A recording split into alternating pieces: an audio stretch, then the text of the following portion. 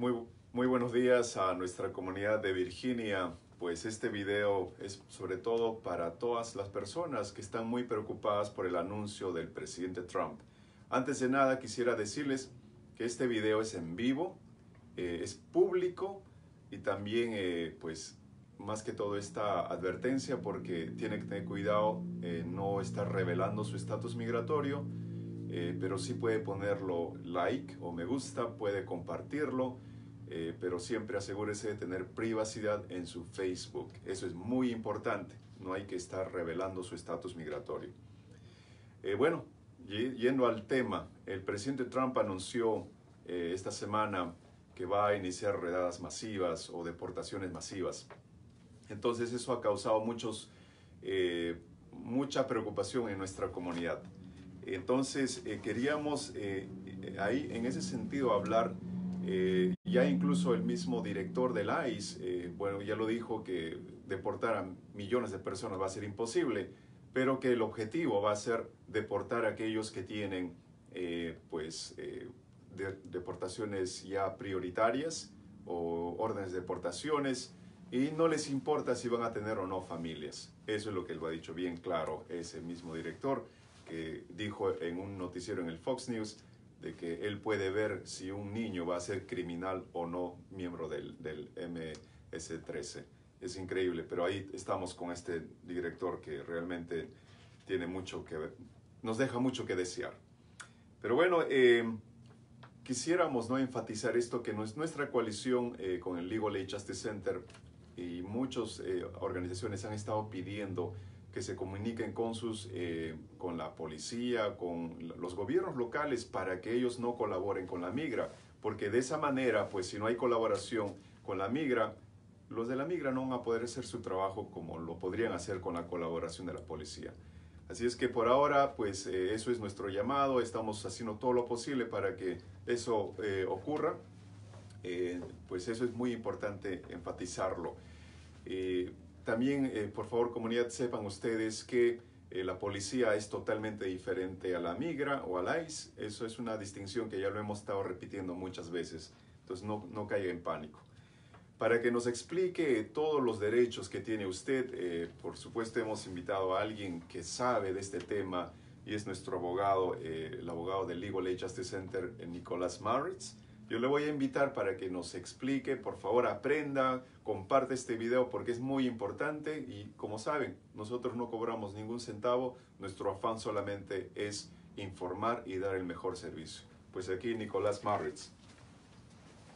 Gracias Edgar por la invitación y gracias a la comunidad por su atención. Este, sí, como comentó ah, mi colega Edgar, sí, el gobierno ha anunciado redadas masivas en las ah, comunidades y esto está causando, bueno, mucha preocupación entre, entre la gente. Ah, el propósito de este video no es para eh, aumentar ni generar este pánico, sino para calmarlo, porque solamente así, armados con información, sobreviviremos. Ah, el gobierno concretamente ha anunciado ah, que está este, enfocándose en ubicar y deportar a personas que ya tienen una orden de, de deportación. Entonces, si usted, pero si usted piensa, bueno, yo no tengo ninguna orden de deportación, estoy salvo, se, se equivoca, porque normalmente el único que, ah, método que el gobierno usa para ubicar a estas personas es ir a su último, a, a- al último, a la última dirección conocida de esta persona y tocar la puerta y pregunta si esa persona está ahí. Entonces, imagínese, usted vive en un apartamento donde hace siete años vivía una persona con una orden abierta de deportación. Entonces puede ser que la migra iba, bueno, podría llegar a, la puerta y tocar y preguntar por fulano Pérez, que, que, antes vivía ahí, y preguntar si, si él vivía allí. Claro que, el, ah, bueno, los, ah, igual si usted dice, bueno, fulano Pérez no vive allí, eso no va a satisfacer a, la, a la migra, porque ellos quieren aprovechar para este, encontrar a quien sea que, que está viviendo en este, en este lugar y ah, sacar a cualquier persona que no tenga papeles. Entonces, esta eh, es sobre todo un, un consejo para las ah, personas que, qué hacer si la migra llega a su casa. Ah, pero este, el consejo que les voy a dar aplica universalmente, igual donde se encuentra un agente de migración, que sea en, la casa, si le sorprende en el parqueadero cuando usted está saliendo de su apartamento al trabajo, ah, si está esperando en la, esquina y un agente le llega, o si le sorprende en la calle yendo, ah, llega, eh, yendo de un lugar a otro. Tenemos un arma, y es un arma muy poderoso, difícil de usar, pero hay que usarlo. Esta arma es el silencio. Nuestra arma más poderosa frente a la migra es el silencio. Para decir, yo, con todo respeto, señor oficial, no voy a contestar sus preguntas, no quiero hablar con usted, no le voy a mostrar ningún documento, adiós. Tenemos el derecho, cualquier persona en este país, ciudadano, residente permanente, inmigrante sin ningún pedacito de papel, tenemos la, el derecho de no contestar las preguntas de migración, porque todo que nosotros decimos a un oficial de migración nos va a dañar. Así vamos a caer nosotros mismos en la trampa. Entonces, no caigan en la trampa. si un oficial le toca a la puerta, no abre la puerta. Si un oficial le para en la calle y, dice, ¿usted conoce a fulano Pérez? Él vivía ahí. ¿Quiénes son la gente que vive en este apartamento? ¿Qué vamos a decir? Gracias, pero no quiero hablar con usted, voy a seguir mi día. Y si usted si, le sorprenden en el, eh, frente a su casa, vuelve a su casa y cierra la puerta. Usted no tiene ninguna obligación de dejar entrar a un, oficial de, migración a eh, entrar a su casa. Sobre todo, las preguntas que le pueden causar más daño y pueden llevar a un arresto es si usted contesta de qué país eres, de si, si tienes papeles o no, o mostrar identificación uh, identificándole como, una persona extranjera. Si un oficial de migración le, pregunta, ¿de qué país es usted? Usted va a decir, ¿de El Salvador? No. ¿De Guatemala? Tampoco.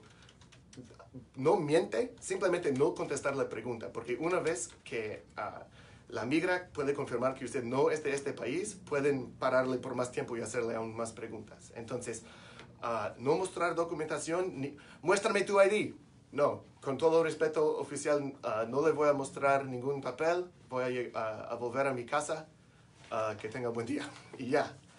Realmente es, eh, parece sencillo y parece un poco increíble, es que cómo va uno a mantener silencio frente a preguntas muy agresivas, porque esas agentes se ponen muy agresivas, no van a estar satisfechos con el primer no voy a hablar con usted, van a querer presionar, incluso hasta mentir yo conozco a casos donde agentes de migración han fingido que están investigando un caso en un apartamento ajeno. Solamente queremos hablar al apartamento de usted para chequear que todas las personas allá estén salvos y sanos.